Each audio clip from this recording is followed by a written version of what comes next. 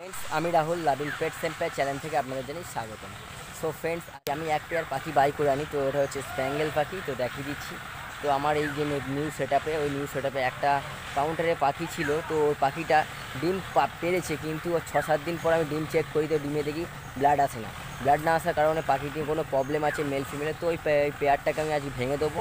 তো ভেঙে দিয়ে আমি যে নতুন আজ পাখিটি স্প্যাঙ্গেলের একটা বাদ দিয়ে সে জোড়া বাই করেছি, সেটাকে ওখানে ছেড়ে দেবো। তো পাখিটাকে দেখাই, আশা করছি আপনাদের ভালো লাগবে।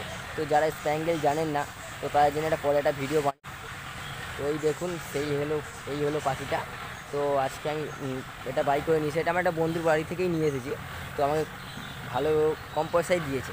তো বলা যাক, এটার এই যে স্প্যাঙ্গেল যেমন নর্মাল মুদির থেকে দাম বেশি হয়, তো এর থেকে এটা কমে দাম, কম দামে দিয়েছে, আমি দেখিয়ে দিচ্ছি। এই দেখুন, একটা মেল আর ফিমেল তো ফিমেলটার পেটে ডিমও আছে। তো ভালো যাই হোক, তো ওই পাখি যদি ছেড়ে দিই, যদি জোড়া হয়ে যায়।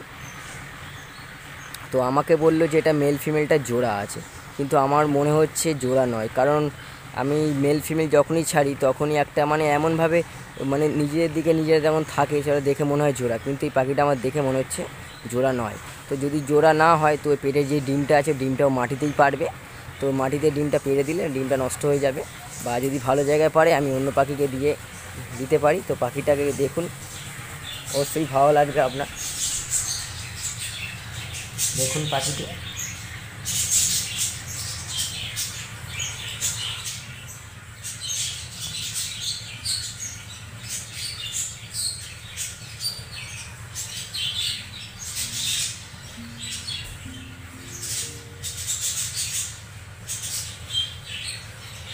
এদের ডিমও আছে, এই এদের ডিম আছে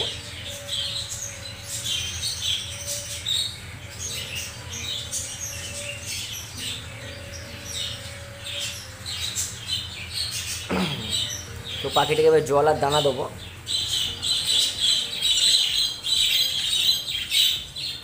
তো আমি আগে বলে দিই, তো আমার এখানে একটা পেয়ার ছিল। তো পেয়ারটা ডিম পারে তো এই সব পাখিগুলো সব বাচ্চা ফুটে যায়। তো এটা লাস্টে ডিম পেরেছে, আমি ভেবেছি লাস্টেই বাচ্চাটা ফুটবে। তো ফ্রেন্ডস কী হয়? তো আমি আজকে ডিমটা চেক করি। তো ডিমে দেখি এখনও ব্লাড আসেনি কমসে কম ছ থেকে সাত দিন হয়ে গেছে ব্লাড আসেনি তার মানে ভাবলাম পাখিটির প্রবলেম আছে। প্রবলেম বলতে কোনো ব্লাড আসে না এরকম, কিন্তু ব্যাটিং করেছে, ডিম পেরেছে তবেই। আমি দেখলাম ব্যাটিং কিন্তু তাও আমি কি করলাম ফ্রেন্ডস এইটাকে ভেঙে যে এইখানে যে মেল ফিমেলটা ছিল, তো আমি এইখানে আমার কিছু অ্যাডাল্ট পেয়ার আছে, তো এখানে ছেড়ে দিয়েছি। এখানে ছেড়ে দেওয়ার কারণটা হলো আমার একটা নতুন যে কলোনি করব বলেছিলাম, তো সেই কলোনির মধ্যে পাখিগুলো রেখে দেবো।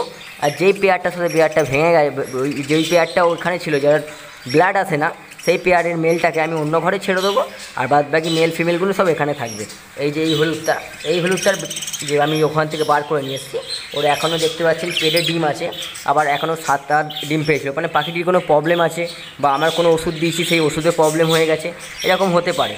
তো আমি চেঞ্জ করে দিয়েছি, এবার আমি স্প্যাঙ্গেল দুটো যে বাইক করে নিয়ে এসেছি, তো এটা আমি এখানে ছেড়ে দেবো। চ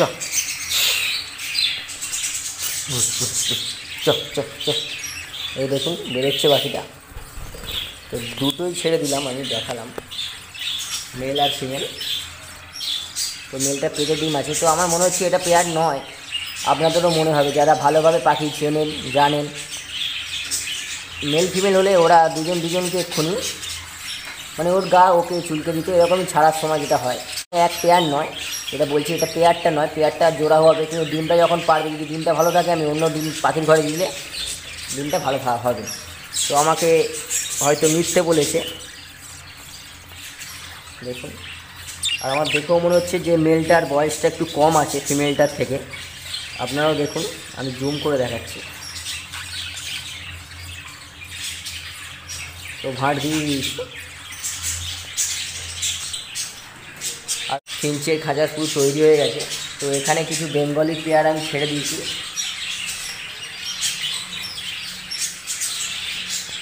সব বেঙ্গলি পেয়ার ছেড়ে দিয়েছি।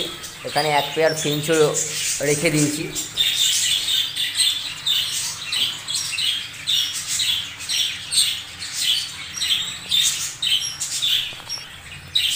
সো ফ্রেন্ডস যদি পাখিগুলো ভালো লাগে, একটা কমেন্টে লিখে দেবেন। ভালো লেগেছে কি বলে, ভালো লাগে না।